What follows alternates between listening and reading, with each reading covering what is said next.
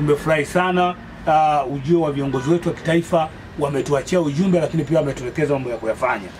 Kwa hiyo ninachoweza kusema ni kwamba wenzetu hawakufanya mikutano, na wewe ni shahidi, Rais Mbeya e, amekuja mara moja, lakini yule mtangulizi wake marehemu hakuweza kufika kabisa kwa wakati wake, kwa sababu alizokuwa anazijua yeye.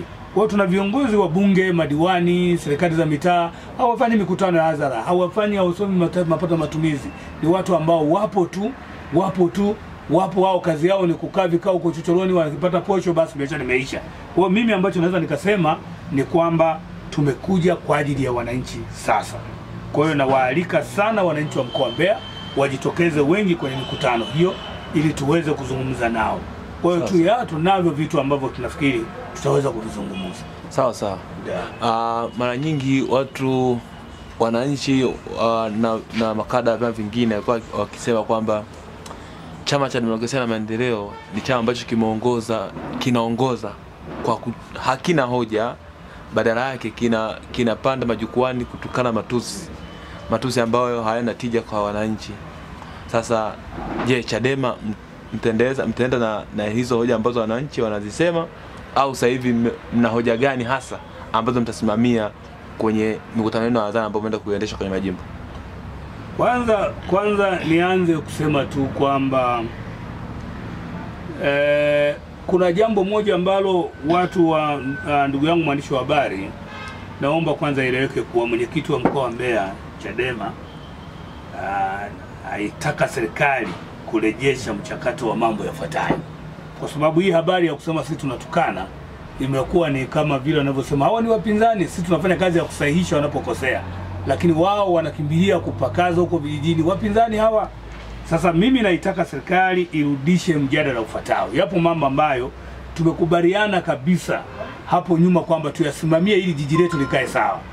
Mbeya haiendi kwenye jiji kwa sababu tulikuwa na miradi ambayo tulikubaliana, na ndio hoja ambayo tutatembea nayo, na hii naomba Watanzania na wana Mbeya kwa ujumla, tunapoanza ziara yetu tutaitaka watu watokeze wasikilize. Moja, kuna uh, kuna swala la mradi wa bandari kavu hii ambayo tuko na tunaipigania tuna, tuna na ilikuwa imeshapimwa kabisa hapo Inyala eh, kati hii jimbo la Mbeya vijijini, lakini kuna kuna kuna uwanja wa ndege Songwe tulikuwa tumelizungumza sana na mwanzoni kabisa, wakati analipambania Mwandosi, alikuwa ni uwanja wa kimataifa, uwanja ambao utaenda kuondoa kero, utaenda kuwafanya wanambea watajirike, wafanye wauze mazao yao nje, uwanja ambao ulitengenezwa special kwa ajili ya ya kuhakikisha kuwa uwanja huu unakuwa ni wakanda kwa ajili ya kufanya biashara zetu za mazao.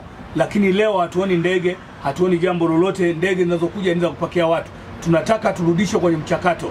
Huyu Tulia asitupeleke kwenye mambo ya majina ya Songwe, aturejeshe kwenye mchakato ambao tunautaka. Hapo nitakapokuwa jukani, tutakuja tufafanue vizuri, tueleze, na tunazo dokumenti za awali ambazo zimepelekea kwa hivi. Lakini jambo lingine ni hiyo swala la bandari. Hii bandari kavu leo hii tungekuwa tunazungumza ni mambo mengine, tungekuwa na ajira ya kutosha kuliko hivi ambavyo wanafanya. Hii bandari bandari kavu ingetutoa hapa tulipo.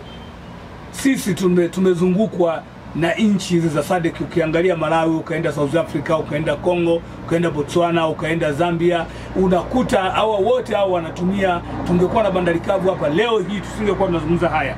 Sasa ndugu yetu huyu aliyoko leo madarakani anakwenda bungeni, anapeleka vihoja vyepesi. Madiwani wako hapa hawazungu- hawazungumzi haya mambo, wako kimya, hamna mikutano, hawatuambii nini kinaendelea. Tunaitaka serikali ietake sasa kuturejesha kwenye mjadala huo ili turudi na tutailazimisha watuambie, watupe majibu nini kinaendelea. Lakini wanaposema si hatuna hoja, soko la Uhindini ni hoja. Watuambie liliungua, lilipishana siku mbili na soko la Tunduma. Tunduma, mimi nikiwa mwenyekiti wa serikali ya mtaa, alikuja Kandoro pale, tukazungumza naye, serikali haikuwa na hela, tukawaambia leteni lamani, wakaleta lamani, wafanyabiashara wakajenga wenyewe kwa gharama yao, na soko liko leo mpaka leo linafanya kazi. Hapo Uhindini kuna shida gani? Wamepiga hela nyingi hapo hapo katikati tuliona wamezungusha ile wanja, sema tunajenga, tumepata mwekezaji, sijui tunafanya nini. Leo hii lile jengo nani pamekaa pako wazi. Leo ukiwauliza soko wameliondoa pale, wamelipeleka kule kwenye milima ya ya uwanja wa soko ine ambako wanachezea golf. Eh, unapeleka watu kule, wakati lile soko lilikuwa limebeba watu, linatoa huduma hospitali, linatoa huduma kwa maabusu hapo, linatoa huduma kwa wafanyakazi wote, wakitoka hapo wananunua vitu pale. Leo hakuna huduma yoyote, pamebaki hapaeleweki. Tutaenda kufanya mkutano wa hadhara pale pale, ili watu waambie kwa nini pako vile, na wakati maeneo mengine masoko yalishajengwa. Kwa hiyo yapo mambo ambayo tuna soko tunataka tu, tunataka tuanze na mambo yaliyoko ndani. Sisi hatutadili na mambo ya kitaifa kwanza, tunazo shida zetu kwenye maeneo yetu, lakini kero nyingine kama wanafikiri sisi hatuna ajenda, tunazo ajenda nyingi. Watuambie hilo soko kuu la Mwanjerwa limekaa pale, sijajua wana Mbeya wamefika mahala wamelizika ni kwa sababu gani? Mimi napata shida sana.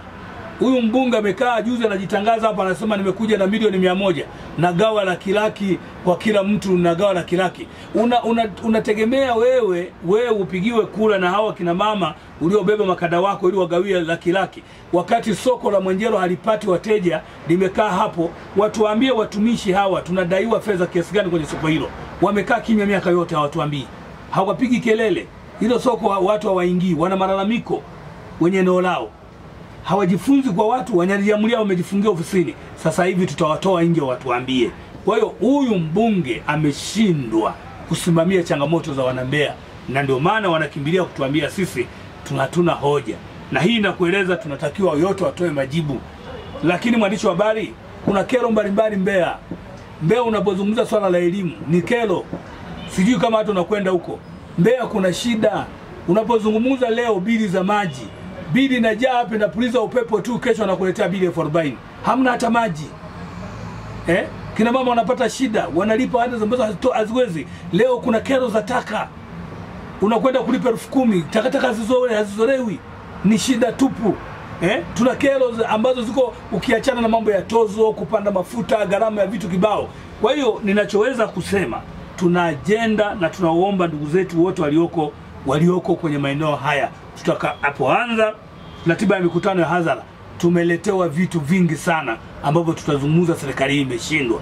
Kwa hiyo ninachoweza kuambia tu, mikutano yetu ya sasa hatuendi kumsema mtu, tutakwenda kumsema Samia kwamba nchi imemshinda, atuachie.